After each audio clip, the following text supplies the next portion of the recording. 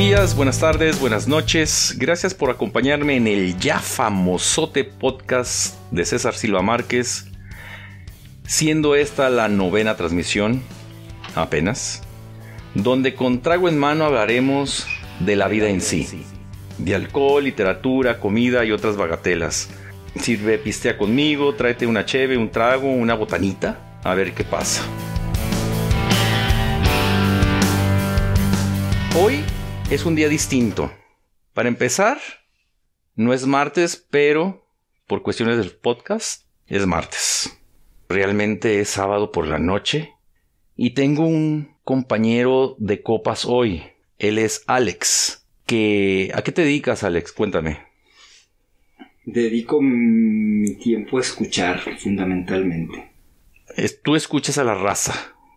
No voy a decir más, pero escuchas a la raza. ¿Ganas de eso dinero? Parte de lo que gano más que dinero. Ganas más que dinero. Bueno, hoy Alejandro y yo nos estamos tomando un trago muy interesante que se llama Old Fashion con fuego. Es una onza de tequila, una onza de ancho reyes, que es un licor de chile ancho de Puebla, un cuarto de onza de jarabe Ahí se oye Alejandro moviendo eh, su trago. Tres chisguetazos de angostura, en la naturalita, la que se usualmente se usa. Dos chisguetazos de angostura de naranja y listo. Una cascarita de, de limón amarillo que creo que le queda muy bien. ¿Qué piensas del trago, Alex? ¿Te gusta? Está bueno, ¿no? Está bueno. Ah, está rico, está rico. Picosito, ¿no? ¿Se puede decir que picoso? Tequiloso. Tequiloso, picoso, ¿verdad? Antes de esto, te debo decir a ti, el que me escucha por allá, que nos habíamos tomado una cosa que se llama Gavilán Reyes y se prepara muy sencillamente dos onzas de ancho reyes, que es el licor de chile ancho que te estaba comentando, una onza de limón y refresco de toronja, como se dice por ahí, top. ¿No? También estaba bueno, ¿no? Estaba rico ese. Estaba buenísimo. Estaba bueno. No sé cuál. Este es más serio. Este es un trago más serio. Da calorcito con este trago.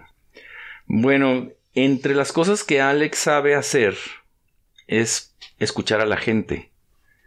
Pero también sabe muchas cosas. Y por eso es mi amigo. Y si un amigo no te da lo que te da, lo que te tiene que dar un amigo, no es tu amigo. Un amigo es para que aprendas de él algo. Lo que sea, cabrón. Y yo creo que Alejandro me ha ofrecido cosas importantes y por eso lo, lo invité y él se invitó solito y yo acepté.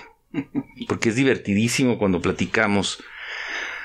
Hace como unos tres meses estábamos en su casa y yo le dije que quería hacer esta onda del podcast y él como que se vio interesado, pasó el tiempo, comencé, ya llevamos seis programas, prácticamente siete, y estoy trabajando en el 8 y ahorita está aquí Alejandro, ¿no? Entonces, una de las cosas que hace Alejandro es escuchar. Y lo que él escucha es bien raro porque no escucha lo que escuchamos todos nosotros. Escucha las cosas íntimas de la gente. Y es donde entonces batallamos absolutamente todos. O más bien dicho, es cuando nos encueramos, ¿no? Cuando platicamos contigo de alguna manera. Mm, hace poco hubo un congreso aquí en la universidad sobre los bajos instintos. En ese congreso se habló de los celos y la envidia. Y platicando con Alejandro supimos que, la, que los celos y la envidia mueven al mundo. ¿Yo te tengo celos, Alejandro? ¿Tenemos celos mutuos? ¿Es posible tener celos uno del otro o no funciona para los amigos o es donde funciona más los celos? Pues yo creo que sí. Somos amigos porque somos celosos. De la amistad que tenemos, del cariño que sentimos. De lo que nos damos, de lo que sentimos nuestro. ¿Y qué es eso? ¿Qué es lo que sentimos a final de cuentas siendo esta persona que escucha a, las, a la demás gente? ¿Qué te, pues ¿te escuchas tú a ti? el esfuerzo mío es escuchar al otro y no meterme y no interferir. Pero es que si lo, si lo, así como lo planteas, pues es una cosa donde profesionalmente como un trabajo. Ajá es el esfuerzo de desdibujarte para que se escuche el otro. ¿El real? Pues. O una parte del real, porque finalmente, ¿quién es el real, no? ¿O si existe alguien que somos? pues somos, ¿no? Somos en relación al otro. ¿Pero somos reales o, somos muchos reales? somos como, eres como ocho Alejandros y yo soy como ocho César, algo así. Como la hidra. Sí, de verdad. Cada vez que me matas salgo otro. otro más. Otro más. Pero es que, bueno, hablar de amistad, sentirte con otro, pues es participar de eso. Y profesionalmente es tratar, es, la, es forzarte a estar lo menos posible. No porque no quieras, sino porque no es el, el, punto. Es escuchar al otro. Escuchar al otro. Escuchar al otro como espejo. Cuando tú escuchas a alguien, ¿crees que ese alguien hace lo posible por ser empático contigo? ¿Se esfuerza? Uno se esfuerza en ser claro, en tratar de, poder, de expresar lo que uno necesita decir. Ya. Si es que en realidad lo necesitamos, ¿no? Pero es así como muy misterioso, así lo que estamos hablando ahí. Pues claro, por supuesto. La verdad es, intentamos escuchar lo que tratamos de decir. Y ya. Y, y de que está, en qué se enmarca en la posibilidad de decirlo, de saber que lo digo. Y profesionalmente es otro asunto. Sí, por supuesto. es un espacio diferente. Es para eso. Es un confesionario si fuera. ¿no? Es una entrevista con un propósito si fuera periodista. Una declaración si fuera una rendición de testimonial. O un cuestionario de enfermedades venéreas. ¿Qué tipo de sangre. ¿Qué es lo que puedo decir? ¿Para qué me lo preguntan? ¿Para qué lo necesito decir? ¿Lo quiero decir para solicitar la visa? Sí, así de... O ¿qué es lo que quieres decir? ¿Qué necesitas decir? ¿Cuál es el propósito? Si es que lo hay. Tú... ¿De dónde naciste y dónde viviste, cabrón? ¿Eres, eres norteño? ¿De, qué chinga? Te, te oyes como matamorense, güey. Yo nací en Tlatelolco. Naciste en Tlatelolco. En las tres culturas. ¿Y luego te fuiste para dónde, cabrón? A la Baja California Sur. ¿Eres más norteño que tlatecolense? ¿Eres? Pues yo, o sea, yo nazco ahí porque ahí, pues ahí me tocó, pues diría la Pacheco. Aquí nos tocó nacer. Aquí nos tocó nacer. Pero yo nazco ahí porque mis padres vivían ahí. Pero mis abuelos que no nacen en la Ciudad de México vienen de, Sinaloa, otra de Ciudad Madero. Ya. Y otra que son tres ramas. Lo que pasa es que dos de las cuatro vienen de Jalisco. Pero entonces, si eso es el norte, pues sí. Pues eso es el norte, ¿verdad? Viéndolo como el chilango tradicional, sí. Entonces, ¿Nos tenemos celos tú y yo o qué chingados? Pues celosos de lo que queremos nuestro. Si esta amistad es nuestra, seremos celosos. Sí, ¿es, ¿es en serio que los celos mueven al mundo? ¿Somos lo que somos por los celos? ¿O por todas las bajas pasiones? ¿Hay algo bueno de en nosotros, güey? Como seres humanos construimos y destruimos. Hace rato lo platicábamos. Pero los celos es parte de la construcción. ¿O tú qué? ¿O, o tú cómo lo ves? Lo bueno es esta como el juicio de valor son distintas dimensiones de lo, de lo humano. Entonces, desde entendiendo los celos como una emoción, está inscrita en la relación, en lo relacional entre dos individuos o sujetos a eso, a eso que nos hace sujetos uno al otro. ¿Eso es bueno? ¿Bueno para quién? Para Desdémona. Desdémona se llama, ¿no? Es Desdémona la que mata a Otelo, ¿no? Pues no fue bueno. Los celos de Otelo no fueron buenos. Pero tenemos a Otelo. Pero nos queda. Nos queda eso. Nos queda el hombre celoso. Pero eran buenos, pues mientras él sentía propio eso y lo cuidó y lo protegió, pues era bueno. Hasta que dejó de serlo. ¿Hasta cuándo? Pues hasta que sintió que no, que no era más de él, amenazado, aquello que creía de su propiedad. Pero ella no era de su propiedad, pero la relación sí. Sintiendo amenazada la propiedad de la relación como algo íntimo, pues es él. porque se lo vas a compartir a alguien si es con el otro? No sé si estoy diciendo. No sé, ahorita ya como ya llevamos como cinco y yo pues la verdad sí he estado desde el mediodía, pero yo creo que sí, ¿no? Hasta donde yo puedo entender, somos lo que somos por todo lo que tenemos encima y entre esas cosas pues están los celos. Yo soy lo que soy porque quiero tener pues yo creo que lo que somos no tiene nada que ver con la explicación de lo que somos. Pues yo lo asumo así, no como una creencia, sino como la evidencia de lo que he vivido. Lejos, lejos, porque no es ajeno a la deformación profesional, a la explicación mi padre un día me decía, esto que los pájaros o las aves vuelan porque tienen alas o tienen alas para volar. Que no lo inventó él, ¿verdad? Entonces, si tenemos celos, si sentimos celos, pues es porque somos celosos, no los tenemos para algo, sino somos en relación a lo que tenemos. Los celos nos condicionan, pero no es lo único que tenemos. Las gallinas corren, también las águilas brincan, tienen patas, pues vuelan y tienen pelo. sea, una onda así. Sí. Entonces estamos condicionados, ¿no? Si sentimos celos, pues lo sentimos, pues ya. Es un fact of nature, pues, aunque no quieras, independientemente de la, del juicio o valor que hagamos de ello. ¿Hay celos buenos y hay celos malos? Pues, eso es una valoración, es un juicio. Es un juicio. Es un juicio sobre lo que de ello se desprende. Mm. Es malo el, cel, sentir celos. Pues, ¿cuál, eh, ¿Qué pasa? Lo sientes y entonces qué? Es así como, ¿y qué pasó entonces? Dirías tú, ¿no? ¿Y qué pasó? ¿Y qué pasó entonces?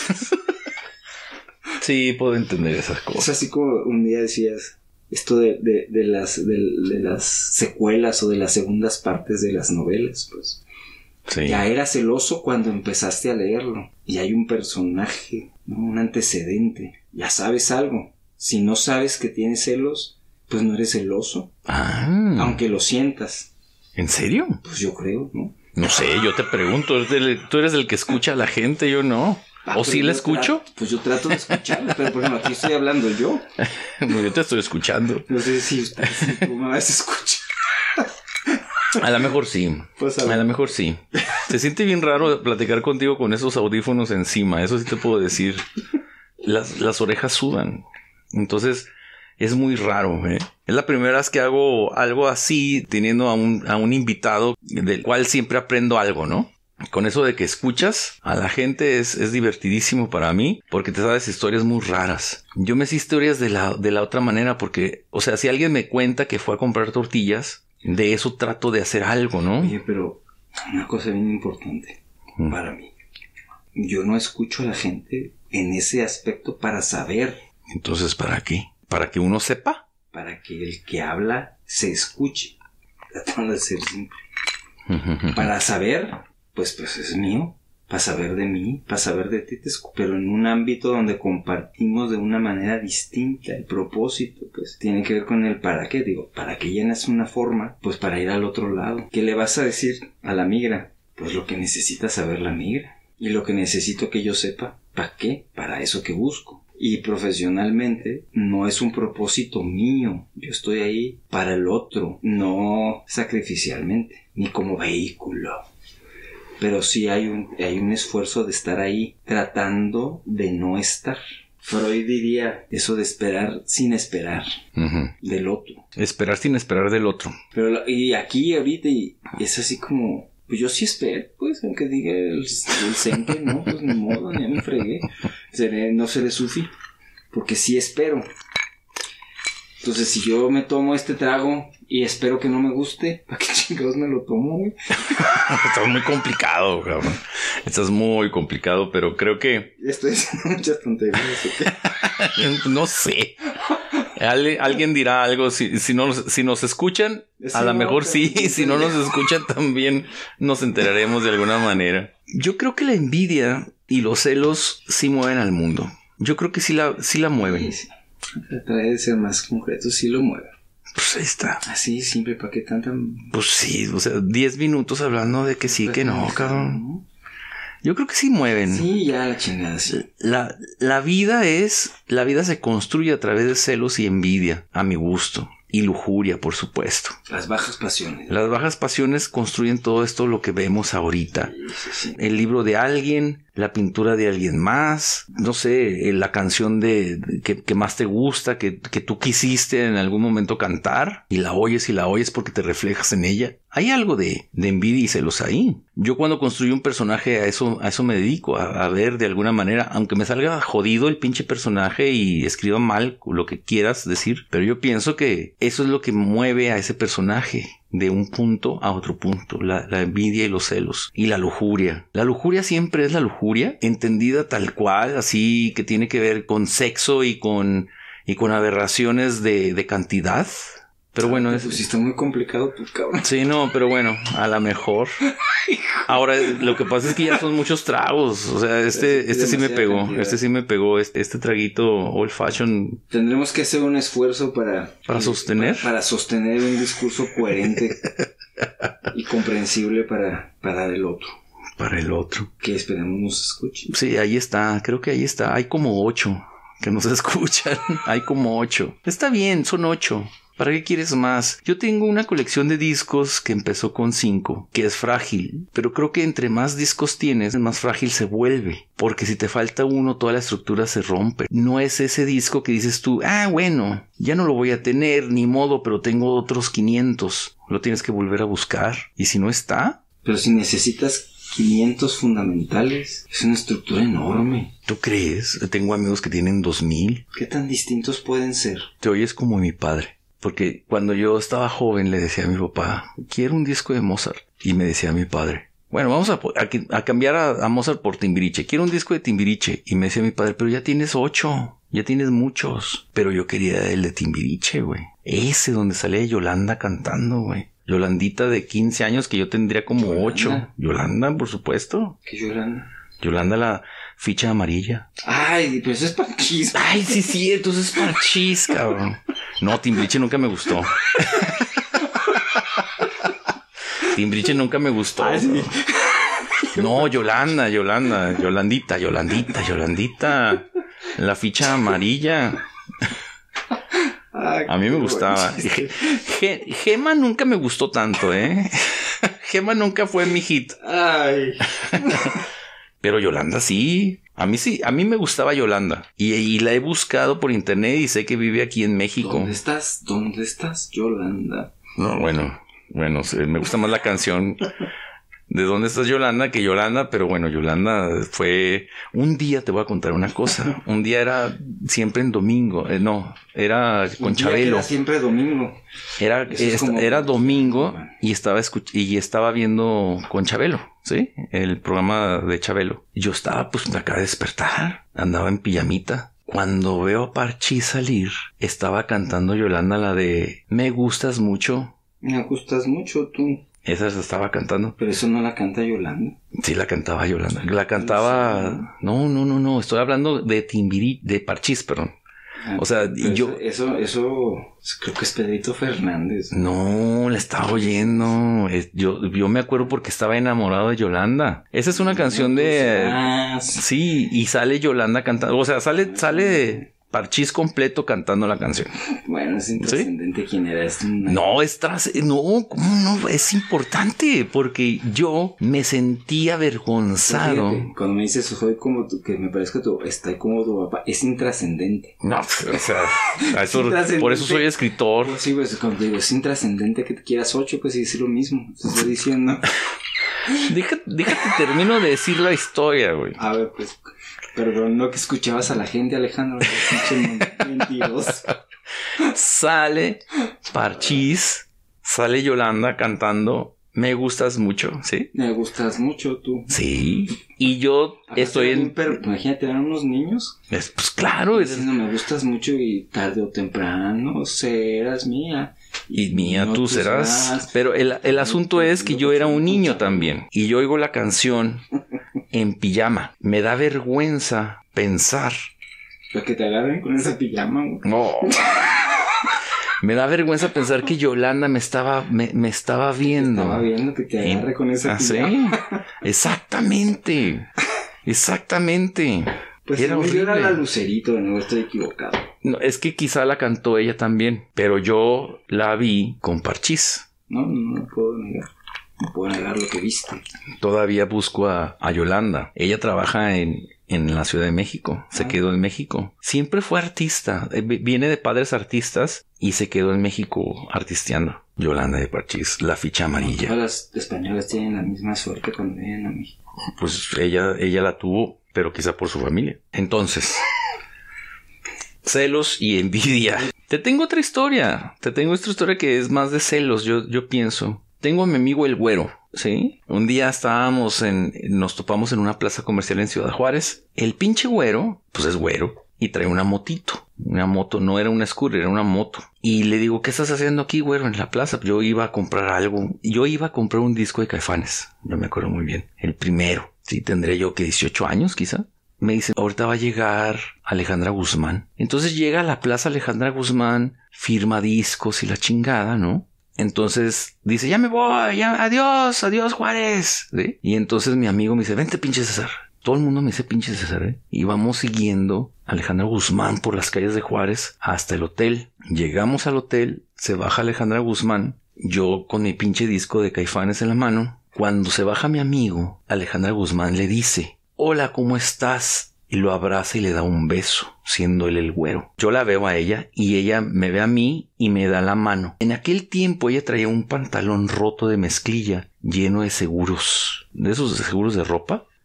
Se quita un seguro y me lo da en la mano pero no me da el beso ni el abrazo que le dio a mi amigo. Lo prácticamente lo pasteleó ahí y me dio el seguro por muchos años. Yo traje el seguro en mi cartera, que era de joven, de esas carteras de tela. Y ahí lo tenía. Sí, de, ah, exacto, de Becro. Era azul. Y me decían, ¿por qué traes esto aquí? Porque un día se lo va a regresar Alejandra Guzmán. Sí. Entonces, el deseo, el deseo de pensar que yo voy a un día ver a Alejandra Guzmán, me siguió por muchos años hasta que ya fue adulto. Pero, ¿esos son celos o es esa envidia? ¿Envidia de que no me dio el, el beso que le dieron a, al güero? ¿Qué puede tener ella que no tenga yo? Esa es otra canción. Es una canción. ¿Cómo hizo el otro para tener lo que tú lo que lo que quisieras para ti? Imposible tenerlo, él era el güero. Era otro, pues. Era otro, ser otro, ser otro que no era yo. Ser otro que tiene la posibilidad o que tiene lo que tú no tienes posibilidad y el otro se le haría aquello que le da la posibilidad de tener lo que tiene. Si es que quería tener lo que tuvo, el beso. ¿Qué tal si él quería un seguro? Sí, y yo me quedé con el seguro, ¿no? Habría que preguntarle. Creo que el güero ya anda en otra onda y ni, le, ni le importa. Entonces imagínate qué terrible, porque a él no le importó. Aquello que tuvo no fue valioso. Y tú estuviste caminando con un seguro en la cartera. Por muchos años. Es así como muy romántico eso, ¿no? No me digas romántico. Pues así suena, cabrón. Ay, pero, pero soy poeta, pero romántico no, güey. Así a veces es que romántico no, que romántico el de la colita, ¿no? El de la guitarra. el de la guitarra. el Saúl Hernández. De la prepa. El Saúl Hernández del... Del Cebetis, ¿qué existe? Del Cebetis, es el, Cebetis. Yo estuve en el Cebetis. Yo también. Sí, pues, de rebozo seguramente igual que el tuyo. Por supuesto, porque pues si, si estuviste en La Paz. Baja Sur. En la Baja Sur, pues no, no, no, no diferencia mucho la tierra arenosa o la arena terrosa de Ciudad Juárez, que es o sea, que es horrible, ¿no? Siempre está en la boca, siempre está. No es horrible. No, bueno, pues en Juárez sí. Juárez, yo, Juárez es horrible. ¿Sabes que yo pensé que Juárez era horrible? Hasta que conocí Matamoros, güey. Yo pensé que Juárez era la ciudad más fea del mundo. Y luego conocí Matamoros y dije, oh. ¿Y lo feo es malo? No, pues no, es lo que es. Es lo que es. Pero lo feo también está condicionado a los celos o a la envidia. A la, envidia, a la envidia de lo que valoro como bueno y bello. O bello y bueno. Bueno, sí. Pero si, si eres como Rigo y es ¿Ciego? Matamoros querido, ciego, porque, lo feo es visual, es la apreciación de lo, de lo visual y es el sentimiento que construyes con Matamoros. Y Era muy feo. es hermoso. No, es, Matamoros querido. En lo feo está lo querido. Si tú tienes un hijo feo, es el que vas a querer más. No le ver lo feo. a lo mejor sí. Es, como lo duro. No le, si no lo tupido. ah, pues con razón, Por eso dice, dicen por ahí que México va a resistir el coronavirus. ¿Por qué? Porque es celoso de su tolerancia a la tragedia. Sí. Masoquista, dirían, pues. Sí, ¿los mexicanos somos masoquistas? No sé, no los conozco. No los conoces. ¿Y los que conoces han sido masoquistas? Pues Los ocho que conoces, ¿son masoquistas? ¿Son masoquistas? Yo creo que nada más se hacen los chistosos. Creo que estamos muy jodidos todos. Yo no creo que seamos divertidos. Pues. ¿Qué tan feo es Juárez? Ah, bueno, conoce Matamoros y luego conoces Juárez y yo te vas a dar cuenta. Vas a decir que es hermosa. Bueno, sí. a mí me gusta, a mí me gusta Baja Sur, a mí sí me encanta. No tiene nada que ver con Juárez. No, Veracruz es chido, a mí me gusta Veracruz. A mí me encanta, pero sí es otra onda. El sur profundo sí no tiene nada que ver con el mundo real. Aquí el tiempo es distinto. Yo el tiempo es lento. Cuando era un chico, porque a lo mejor sigo siendo chico. Yo no sé, no creo, ¿eh? No creo. Estas películas de del, sur profundo de los chicleros, de estas de Carlos Moctezuma se llama como que de esas Ay, no sé. Porque había en esa época del bueno no en la mía ya estaban viejas cuando yo las veía que eran los charros del cine de oro pues ya sabes sí, sí, con cuera y esas cosas. Y luego estaba toda la otra del sur profundo de la selva del chicle del pues yo no me acuerdo si era era el chicle porque era la selva pero es como el Minatitlán no como el Huat el Huatzán no es el sur pero bueno, pero es esa cosa de la selva, de, que no es la tierra, de no es lo terregoso que dices. No es otra cosa, es más verde, es un verdegoso. Pues es el verde de la selva. es el verdegoso. Eh, tenemos el terregoso y el verdegoso. pues seguramente. En eso que yo ahorita recuerdo, no se veía hermoso, era terrible. ¿no? Pues era espantoso. Pues sí, pero la selva lo era. Era horrible Juárez, era horrible esa, ese, esos campos petroleros, esos campos de chicle. Es hermoso Juárez, es hermoso. No, Cebetis Terregoso. Pues no es hermoso Juárez, güey. Pero hermoso es el recuerdo. O terrible lo es. Si lo sé lo, porque lo creo, lo siento propio y vale, no importa si es hermoso o feo, lo siento mío y es lo que celo. Si lo envidio es porque no lo tengo, no lo siento mío, siento que no lo tengo porque no lo tengo. ¿Qué es lo que no tengo? El recuerdo, es como el vacío. Tiene que ver como por ejemplo cuando uno se insulta, ¿no? Que yo me diga, ah, yo soy un pendejo. Ese soy yo hablando de mí porque tengo esa posibilidad pero que no lo acepte de alguien más, ¿es eso? Ah. Que alguien me diga, eh, tú eres un pendejo, eh, bájale a tu pinche rollo, güey. No me digas pendejo. ¿Es eso? ¿El recuerdo? Me recuerda que lo soy. Pero si yo me recuerdo a mí mismo. es un souvenir. es un souvenir. me recuerdo que soy pendejo. Ajá. Pero que no me lo digas tú, cabrón. O sí, o no. Eso es como masoquismo. ¿Es eso? ¿De, de mí mismo hacia mí? ¿Por qué? ¿Para qué llamarme pendejo? Digo, pues, no sé, dejas las llaves, ¿no? Digo, chinga, qué, pendejo soy. Pues sí, pero ¿para qué me pendeje? Porque puedo, pero tú no, a mí. Porque es mío. Yo lo yo hago conmigo lo que quiero, pero tú no. Me celo. Como la Frida Kahlo, güey. Como la Frida Kahlo de, de los sentimientos. Nada más yo, a mí. pero la intimidad del dolor, del cuerpo, el cuerpo roto, del, ¿qué es lo trágico? Pues es la validación de mí a través del dolor. Y sí, parecería que una lectura de la obra de Calo es el dolor, el dolor del cuerpo roto. Explotado por ella misma. Eh, Digo que está chido, o sea, no, no, no es una crítica hacia eso, sino es una, un señalamiento, ¿no? Pero si es una explotación en el sentido de sí misma, pues es capitalista, pues. ¿Cuál capitalista? Y ahí está Madonna. Y lo explota no solamente ella. 30 años, 40 años después hay una industria en relación a Frida. Gracias Frida. Oh Frida. Alguien dijo de Madonna que era la reina del aire, que construyó de la nada algo que no existe. Madonna tiene como tres canciones que se sostendrán por sí mismas, pero pues realmente es un pop que se quedó, ¿no? Pues en los ochentas, Papa Don't Preach, por ejemplo, no, a mí no me, no me dejaba nada. Ahora, no, no me tiene que dejar a mí, ¿no? Obvio, obvio que no. Pero, ¿qué nos dio? A mí no, no, no me, ¿Qué si hiciera una... ¿Mm? ¿Qué nos dio a nosotros? ¿Qué nos dio? ¿Qué nos, nos dio más allá de aire? ¿Más allá de...? ¿Sí? Seguro, si le pediste un beso como Alejandra Guzmán. de lo que te dio. Sí, Alejandra Guzmán no me quiso dar un beso menos... Madonna. Menos Madonna, güey. Por moreno, güey. Era morenito. Soy morenito, güey. Desde entonces quiero ser y Chairo. Moreno y Chairo con mi disco de Caifanes bajo el brazo, güey. Eso está bien. Bien alternativo. Me gusta este trago, sí me gusta. Me Pero gustó. ¿qué nos dejó la ma- eso creo que es- sí es relevante. Es lo mismo Alejandra Guzmán que Madonna. Pero no es lo mismo como aquello que nos deje. ¿Envidiará la Guzmán a Madonna? ¿Será celosa la Madonna de la Guzmán? O de sí misma frente a la Guzmán. Si la Guzmán le quisiera cantar la Isla Bonita. Que no la canta la Guzmán, la canta la, la Madonna. Y explotan Aún así, siendo muy católica Madonna, de forma, ¿sí? Así de un sí. católico, ¿no? aún así Alejandra Guzmán en su canción Hacer el amor con otro, no, no, no, no es la misma cosa. Creo que su catolicismo es, es más aberrante, güey.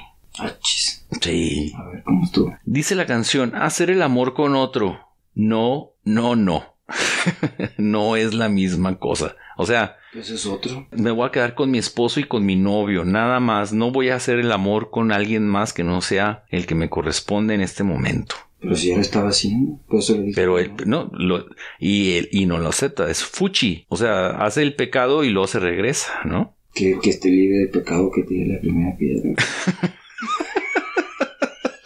Fuchihuacala. ¿no? Fuchihuacala. No, no, no, no es la misma cosa, No, güey. pues no.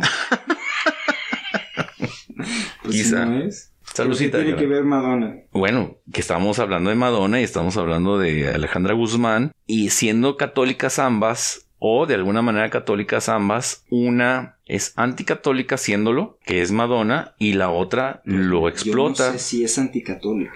Pero Madonna, desde el nombre que toma y desde su Bueno, Italian pues sí, American, pues sí, pues sí. ¿no? Podríamos, yo podría suponer, en una construcción mía de mí, sin escuchar jamás a Madonna, Ujú. decir que no tiene nada que ver con el catolicismo que yo invento en mí mismo de, de la Guzmán, que no conozco. Hacer Pero el amor con otro, no, no, tantos no. años Y ser senadora y ser hija de ellos, de los que son, pues así como que es muy católico a la mexicana. no es lo mismo ser católico a la mexicana que a la Italian American.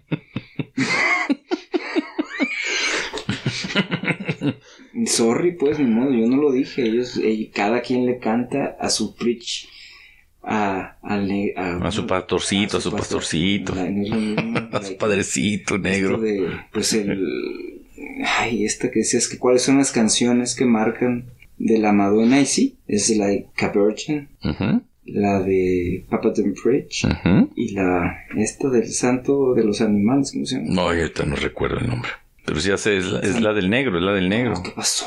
Pues, Pues el padre negro, es el padre negro, güey. ¿cuál padre si no tenía hijos?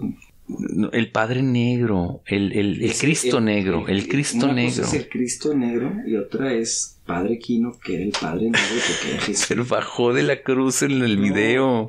Pero ¿cómo se llama? ¿Quién sabe cómo se llame? Francisco de Asís, no. ¿El negro? Bueno, Ah, este señor. Dale un trago a tu trago. Bueno, Dale un trago a y tu ese- trago. esa otra, pues hasta la andaban excomulgando por eso. Entonces es provocativa, transgre- transgreden musicalmente. Ni melómano soy, soy un pinche hablador de lo que no sé. Bueno, pues estamos tomando un trago. Pero de eso Alejandra Guzmán, no de eso, perdón, del trabajo, de la marca. Y la señora Guzmán también me gusta mucho, porque es muy buena cantando. No me Seguro digas. que sí. De verdad.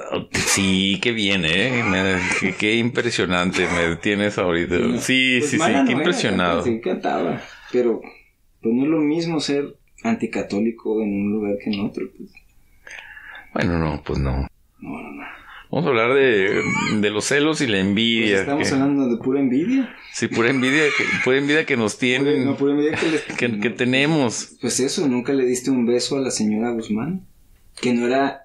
Yo sí quería darle un beso, pero no porque, porque yo quisiera darle un beso, yo, porque vi al güero darle el beso y dije, y yo abrí los brazos y ella me dio la mano y me dio un seguro. La ventaja es que tiene muchos problemas. o no, o no tiene problemas la mujer. Yo creo que sí. Pues sí, seguro. Es eso como fetiche. Ay, Es un fetiche, por supuesto. Es el desplazamiento al objeto. Eso es bonito. ¿Que vamos por el otro trago o qué? Salucita. Salucita y vamos por el otro. poquito. Muy tequiloso. Ya sabes que el tequila no. me No, gusta. pues te, te vas a tener que No, chingar con otro igual, cabrón. O a ver qué te invento ahorita.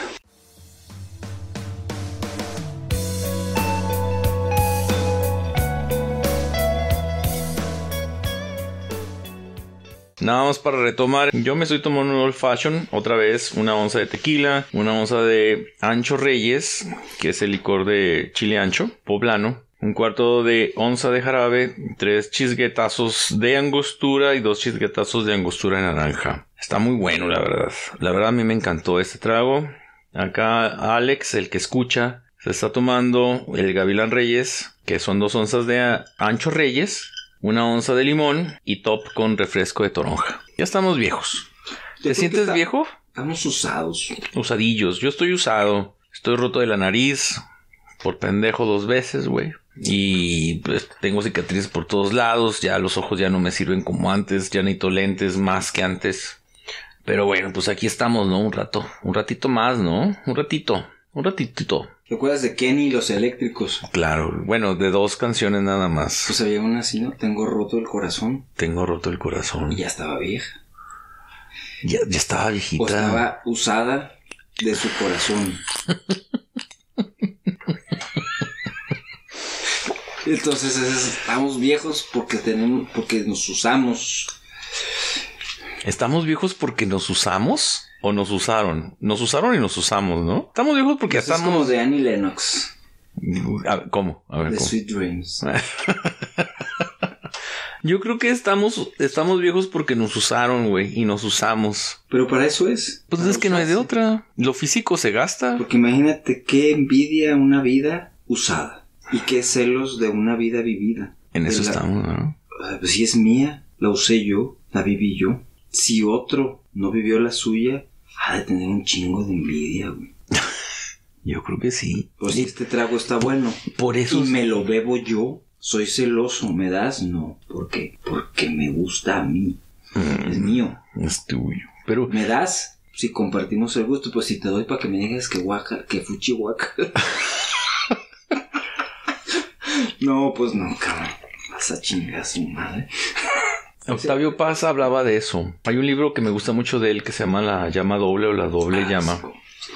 Que, que tiene que ver con... ¿Para qué tienes dos mil libros si no tienes la llama doble? Y te ayuda a entender el pinche mundo donde te mueves, ¿eh? O sea, es un librito. Pero es que Octavio Paz era fifí, pues era conservador. Bueno, pues sí, pero eso, y, y eso que le quita un buen libro. Pues que no era bueno.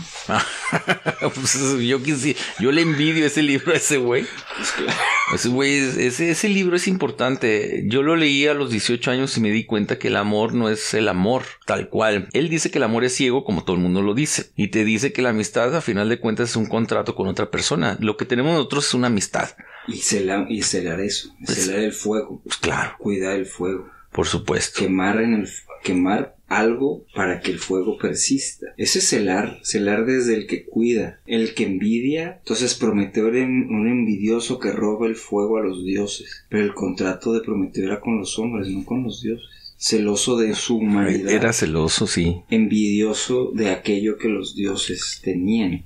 Sabía de él y no sabía de los dioses. Pues con lo que tenía sabido de él era suficiente, necesitaba el fuego. Y lo robó. Y aquí seguimos, ¿no? ¿Y qué tiene que ver con el Octavio Paz? Pues la flama, pues la llama. El, el fuego, a final de cuentas, es el amor, ¿no? El clásico lugar común es eso, pero viene de más atrás. Como Prometeo robándose el fuego, el, el fuego que él quiere. Creo yo que es lo que queremos todos, ¿no? En algún momento lo quisimos. Ahí es la liberación, o sea, la libertad del hombre del yugo de los dioses. Del... Sí, es una interpretación. mía. No, no, pero sí, es verdad, es verdad, No sé es si sea verdad. verdad, pero es eso, o sea, es el amor al hombre. Entonces está bien, estamos, está, está chido. Es, la es el amor al hombre, al sí es a sí mismo. Por eso eres mi amigo, güey. Porque me das luz, güey. ¿Has leído? Has leído, fíjate, Salucita. a Barba Jacob, No. es un colombiano, ¿no? Que habla, ahí tiene un poema precisamente de la amistad. No lo y conozco. siempre me acuerdo de él y nunca me acuerdo cómo va. Pues lo buscaremos para la próxima. Y es esta cosa, y otro colombiano, este, Juan Luis Guerra. El, el que hará burbujas en tu Ese. pecera, güey. Pero tiene uno, ese de contamíname, mézclate conmigo. Ah, es, es que, es que yo lo dejé de escuchar, güey. que de alguna forma es el contrato, es, es la mezcla, es el, el, hacer con el otro en la relación, ese hacer con el otro, ese, eso que se consume, eso que es la llama doble, pues, que es porque doble, bueno, a ver tú dime si parte de lo que sostiene paz, pues es la, dual, la dualidad. Sí, sí. Y la, esto del amor-odio, o de los contrarios, o de los opuestos, o del conflicto, de lo que se consume, de lo que genera ¿no? Y paz, que para los pasianos pues seguramente un hereje. Nos van a, nos van a chingar, nos van a chingar porque van a decir que no estamos diciendo bien las cosas, pero pues sí es, la vida. Yo entiendo a partir de lo que he leído de paz, es que el viaje que hace fuera de este núcleo que lo pare, pues es precisamente lo que permite ver la, el otro lado, o sea, el viaje a la India, como lo escribe, aunque siempre está escribiendo desde antes lo que iba a escribir después. Cuando se publica ese libro, es precisamente como la comprensión del que se hace viejo, porque en eso estábamos, que si somos viejos, que si estamos usados o estamos rotos y consumirnos, consumirnos ahí, qué terrible sería para mí, no sé si para el otro, no consumirse nunca. Y se escucha muy chingón, ¿no? Qué valiente el pinche Alejandro. Pura madre, pues me da miedo. Eso ya fue una confesión, hay que cortarlo del no, eso se va a quedar. Ahora, ahora viene lo importante. Ah. Claro que no, por supuesto que no. La doble llama también viene por una razón muy importante que, que, Paz marca muy bien en ese libro, que tiene que ver que antes los humanos, es la leyenda, ahorita no recuerdo dónde viene esta, este asunto, pero él marca que éramos, sí, que éramos uno solo, éramos uno solo, éramos tan poderosos como los dioses y los dioses decidieron dividirnos en hombres y mujeres y desde entonces estamos buscando la otra mitad, ¿no? Que ahora hombres y mujeres ya no, ya no funcionan. Estamos buscando la otra mitad, sea quien sea. La completud. Exactamente. Por eso se llama la doble llama. Aparte de lo, de lo bueno y de lo malo, eh, del yin y el yang, ¿no? Todas estas cosas revueltas, regresamos a esa chingadera. ¿Mm? Que no están. Ah, no, no, por no, porque están. Sí, sí, sí, sí. sí. Son indisociables. Sí, si no sería una tole. El, el atole terzo, que es como la, que no es lo mismo que si te haga bolas el engrudo. Porque el atole terzo es distinto que un atole mal hecho, pues. Tiene su chiste, supongo, para los que hacen atole. Yo mal Oye, ¿puedes sostener este programa un año haciendo esto? ¿Viniendo todos los sábados? ¿Viniendo todos los sábados? Me da para, decir tonterías. ¿Sí, seguro? Para hacerlo todos los sábados. Para, hacer para decir tonterías. Tienes que pedir permiso. A mi doble llama. A tu doble llama. A la llama, de, a, la otra llama. a la otra llama. A la que porque, porque entonces es la llama que llama, ¿no? La llama. Deberías de venir cada sábado. es padre. Pero esto que dices de, de, Fíjate, creo que... ¿Es donde lo habré leído? Creo que es Robert Graves. Creo que sí. No me acuerdo. Pero este mito de la dualidad, ¿no? Donde precisamente la completud era y hay algo que se puede interpretar o cabe la interpretación de que es la envidia de los o el celo de los dioses quien divide lo que divide al hombre aquello que era entonces el hombre sin dual pero completo entonces, el hombre, eso que era, no necesitaba a los dioses, prescindía de los dioses. Exacto. Entonces, ¿qué fue lo que dividió al hombre? La envidia de los dioses. La envidia de los dioses nos, jodió. No los, pero ese es absurdo. Porque éramos, eh, porque éramos tan poderosos o casi tan poderosos como ellos. no necesitarlo, pues. Pues nos jodieron, los dioses nos jodieron, nos dividieron en dos, Se hacen necesarios. Hay una novela que se llama American Gods. Ahorita no recuerdo el, el autor, pero tiene que ver con los dioses los dioses nuevos contra los dioses viejos, ¿no? Y el dios nuevo, o más bien dicho, entre menos dices a los dioses viejos, los vas diluyendo en la nada hasta que los vas a desaparecer. Hasta que desaparecemos en la Exactamente. Entonces, de eso va la novela. A mí me gustó mucho la novela. Ah, se llama Dioses, Dios. Y hay una serie es American Gods, pero pues son dioses americanos y que tienen que ver con que, o sea, con todos los dioses. Y si no los dices, desaparecen. No se usan. No se usan. Si no nos usamos, no, no solamente nos hacemos viejos, desaparecen. es Es como la pinche película de Disney, güey. Si no dices a los... A la del... A tus muertos. La del Coco Wash. Ajá, la del Coco Wash. Si se te olvidan tus muertos, los dejas de, los dejas de ver. Pues que lo que no se nombra no existe. Se va a la chingada. Al albergue. Desván. Pero en el desván existe. La cosa es cuando ya no, ya no está ni ahí. Polvo serás más polvo enamorado. Polvo serás más polvo enamorado. O sea, más muérete. Muere, cuando te mueres, eres polvito. eso es como reivindicación. Es reivindicación. Ah, es una reivindicación. Es, redimir. El amor redime, pues.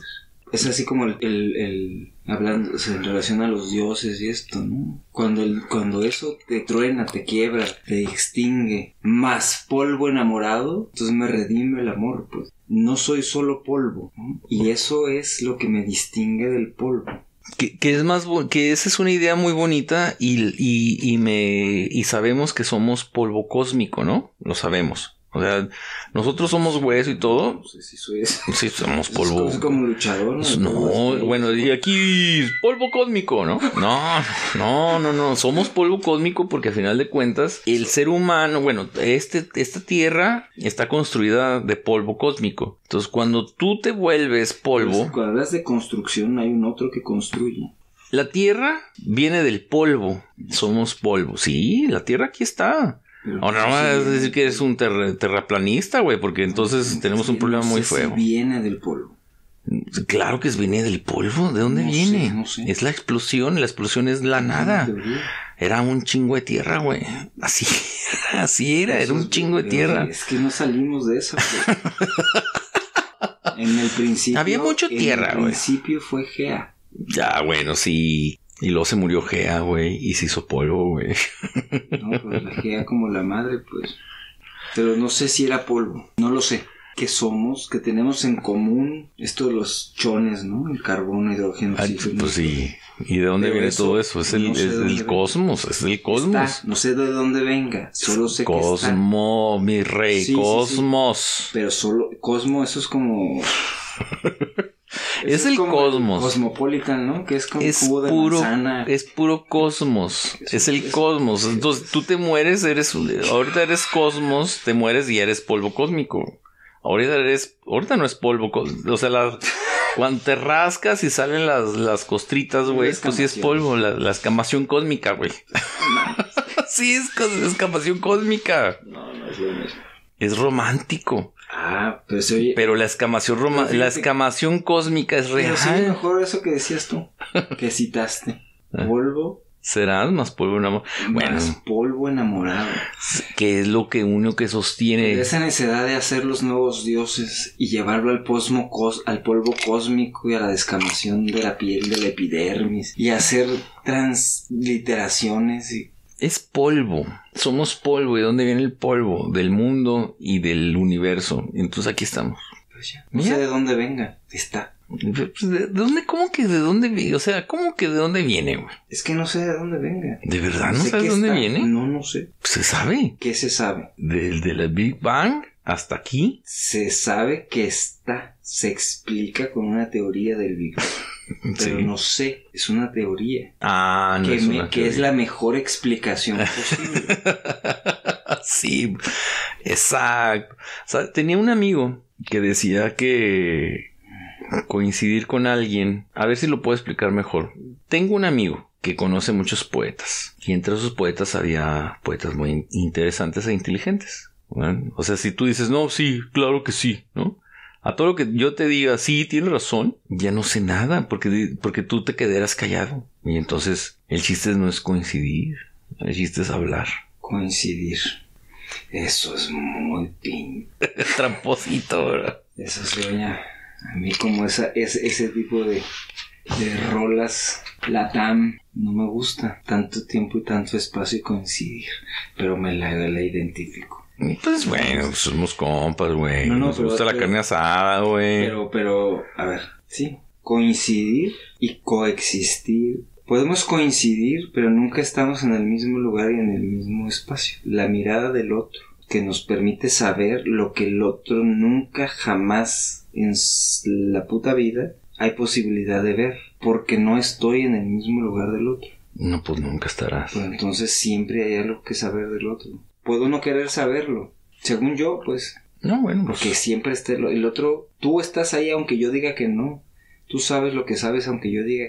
Vale pura madre mi negación. Es, como ahorita, yo te dije que sí era Yolanda la que cantaba la canción. Y, ya te dije, y me acordé que es cierto. Pues sí, pero te tardaste como, hasta lo googleaste creo, o sea, pues lo que Gracias a, a, eso tengo memoria, si no, imagínate.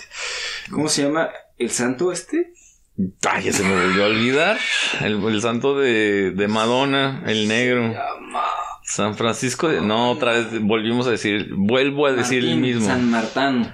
San Martín, de Porras. Ese lugar del otro, ese, esa necedad de hablar del otro, desde el otro, pero también es como una, una reafirmación de mí. En la no coin... ¿Qué dijiste? Coincidencia. coincidir. Coincidimos para no coinc para saber que no estamos en el lugar del otro. Entonces nos da sentido. Lo que no es el otro soy yo. Hoy es como un poema, güey. Cada vez que hablas del yo, del yo y del otro, es como la poesía. Porque el yo es una persona. Prácticamente tiene que ver con eso. Desde mi parte el poema, ¿no? Desde mi experiencia o desde lo que yo quiero hacer la experiencia mía. Ese es el poema. Si yo veo un atardecer, es qué siento yo y cómo lo puedo bajar a la hoja. Magali acaba de comprar un libro importante para nosotros, que son los astronautas que fueron a la, a la luna. Sí, está bien chingón, porque son un ensayo, es un librito de unas 150 máximo cuartillas, páginas, tiene que ver con ese espacio. Y el prólogo me cuenta que tiene que ver con que cuando fueron a la luna no hubo ni un poeta ni un narrador que fue con ellos. Entonces la experiencia que van a contar ellos es a través de los ojos de científicos, ¿sí? Que no tiene que ver con un poeta. ¿Qué pasaría si un poeta hubiera ido? Voy a leer lo que dijo un científico llegando a la luna y bajando otra vez a la Tierra. ¿Qué tan diferente podría ser a lo que dice un narrador o un poeta? Es la expectativa. Y yo como poeta te podría decir, ¿cambia algo? ¿Realmente cambia algo de un científico a un poeta cuando lo que describes es lo que quieres plasmar en una hoja lo más exacto posible? Un poeta quiere plasmar lo más exacto posible de lo que siente y lo que ve, que no es lo mismo lo que hace un científico, pero no crees que se parezca. es la objetividad, o sea, la construcción del método, la invención del método. Es positivista, es materialista y no es lo que quiero, sino lo que es. Lo que es no es necesariamente lo que creo. Como, así como te, lo, que dices es el poeta escribe lo que quiere plasmar. A través de lo que ve. A través de lo que ve. El científico o la ciencia, el método permite plasmar aquello que ve, que es la evidencia, que es evidente. Pero sin importar lo que yo quiero, que es la intencionalidad o la motivación es la descripción el conocimiento de lo que es, no de lo que quiero que sea. Entonces, es disminuir o reducir la subjetividad, por eso es positivista. Entonces, sí, es la, la, capacidad de que te valga madre si eso no es.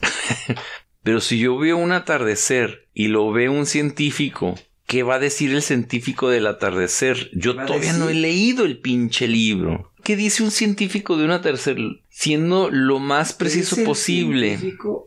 Siendo preciso, ¿eh? científico, o sea, ¿qué Pues es un científico, yo todavía no sé. pongamos. ¿Un astronauta? Como astronauta de un atardecer que no existe.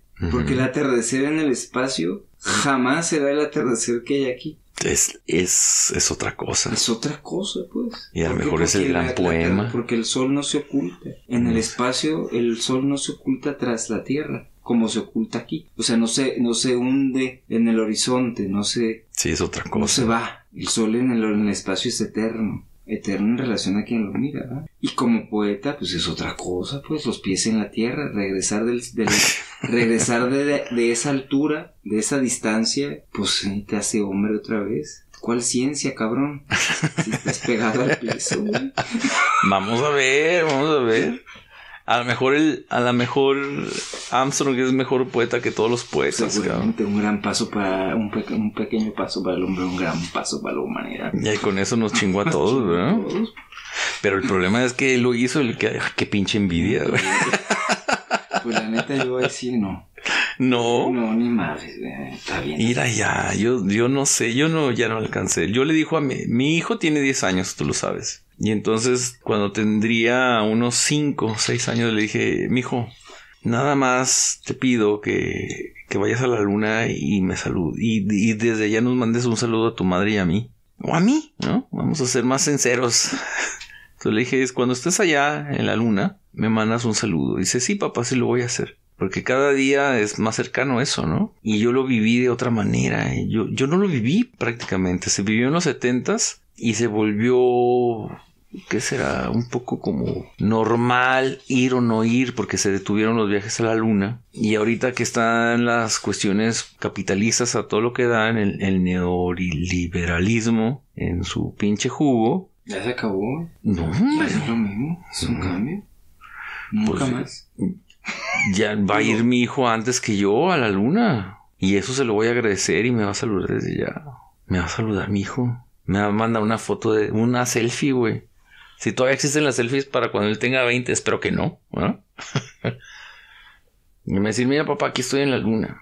Llegué. En los cuernos de la luna. En los cuernos de la luna. Eso fue antes de los 70. Y, se detuvo, se, se, se, se, hizo lento eso. Pero la luna como metáfora de lo inalcanzable. Ya, sí, y sigue siendo, ¿eh? Sigue siendo inalcanzable la luna. Pero ahora entre más rico, más fácil la llegas. Pero rico. De dinero. Rico tener poetas fundamentales. Rico tener los 500 discos fundamentales. un, un rico va a invitar a un poeta a la luna va a escribir el gran poema. Pero, pero lo se puede escribir desde aquí. Armstrong cuando llegó y dijo un, pequeño paso para el, para el hombre, un gran paso para la humanidad, estábamos hablando de una cosa muy rara, de la realidad, pero él pisó esa cosa, él pisó esa pinche tierra de allá, él agarró una tierrita, él estaba haciendo muy, muy, ay, no pasa nada, yo, yo que soy un hombre, les traigo este pedacito de, de luna, ¿no? Te trajo un pedacito de luna. Solo así. ¿Solo así? Imagínate no saber que eres un hombre allá y olvidarte de que eres un hombre. ¿Se te olvida? pues, pues, es lo que digo. Ahora que dices, esta frase simple, esa simplicidad, parece pobretona. no, pinche, una pinche frase de... Pero, pero vista desde allá, dicha desde allá, cobra una dimensión que te planta. Yo no imagino qué podría decir yo estando en la luna. Serías el gran poeta, güey. Tal vez no tendría capacidad de decir nada. Serías el gran poeta. Podría volverme loco. A lo mejor el poeta no tiene que decir nada, nada más ver. Pero ver aquello que es indescriptible. Ah, cabrón. Y entonces, ¿para qué ir si lo puedo decir desde acá? Cuando puedes decir esto de los cuernos de la luna, que es una frase hecha, un gag, un cliché, ¿no? Pero ¿a qué refiere? Lo inalcanzable. Ese otro que es ese otro lugar desde donde veo lo que nadie ve, estando allá de ser muy cabrón. Pues es que los atardeceres no existen. Entonces, ¿existen o no los atardeceres? No es que sea no es un relativismo cósmico, pues, pero no es lo mismo la piel descamada que el oxígeno y el carbono y el hidrógeno de la nebulosa de quién sabe dónde. Somos polvo cósmico, güey. Salucita. Y yo creo que acabamos, maestrazo. Ya son puras pendejadas. No, para nada. Vamos a decir que los dejamos al pendiente.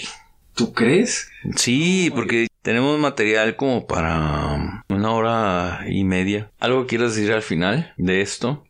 De la envidia, de, los celos. Pues que fue por envidia. Por envidia. claro, hablar de lo que no hemos visto, de lo que no hemos leído. Eso es envidia. Pues, claro, es apropiarnos de algo que no es nuestro, de una experiencia que no tenemos. que eres muy mala persona, güey. Ya no escuches a la gente, güey. Dedícate a otra cosa. A lo mejor eres buen poeta, güey. Y de esta manera llegamos al final de esta transmisión. Nos vemos el próximo martes o sábado, dependiendo cuando lo escuchen esta madre. Sabat. Sabat. Sabat. Pero con respeto. Con por supuesto, siempre con respeto todo. Hay una feminista que dice algo muy importante. Dice, yo no, yo soy atea y la religión la veo con mucho respeto. Exactamente de esa manera tiene que ser. Nos vemos pronto. Por mientras, salud. Salud. Si te gustó y estás escuchando esto por YouTube, dale un like, suscríbete y mientras tanto, por aquí andamos.